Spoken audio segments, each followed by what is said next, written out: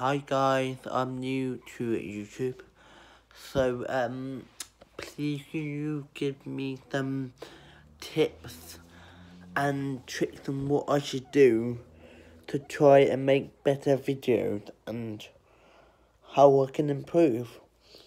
Um, like I said, I'm new. Sorry if I look tired. Um, I've just been for a walk. Um, it's very dark outside. Let me just show you how dark it is outside.